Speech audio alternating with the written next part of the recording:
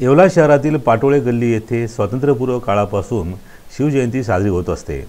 यंदा कोरोनाच्या पार्श्वभूमीवर शिवरायांचा जन्मोत्सव साधेपणानं प्रतिमेचं पूजन करून साजरा करण्यात आला. क्रांतिसिंह नाना पाटील यांच्या प्रेरणेनं येवल्यात स्वातंत्र्यपूर्व काळापासून सुरू असलेली ऐतिहासिक शिवजयंती दरवर्षी मोठ्या उत्साहात साजरी केली जाते. मात्र राज्य शासनाच्या निर्बंधामुळे यंदा शहरातील शिवजयंती साधेपणानं साजरी करण्यात आली. याप्रसंगी मान्यवरांच्या हस्ते शिवप्रभूंच्या प्रतिमेचं पूजन करण्यात आलं. जय भवानी जय शिवाजी. शिवाजी महाराज की जय अशा घोषणा शिवप्रेमींनी दिल्या. कोणत्याही प्रकारचा अनावश्यक खर्च न करता भाजी मार्केट तसंच शहरातील अनेक ठिकाणी शिवभक्तांनी मास्कचं वाटप केलं.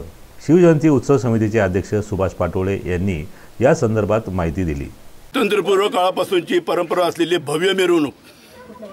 परंतु यावर्षी दुर्दैवाने आपल्या देशावर आणि आपल्या महाराष्ट्रावर कोरोना साथीचं भयंकर असं सैमान घातलेलं आहे साथीने.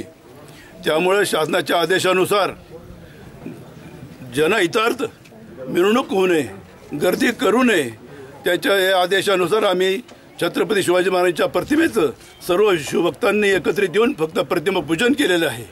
आणि कोरोना सदृश्य साथीमुळं कोणाला त्रास होऊ नये म्हणून आम्ही मास्कचं शिवजयंती निमित्तानं मास्कचं वाटप पण केलेलं आहे.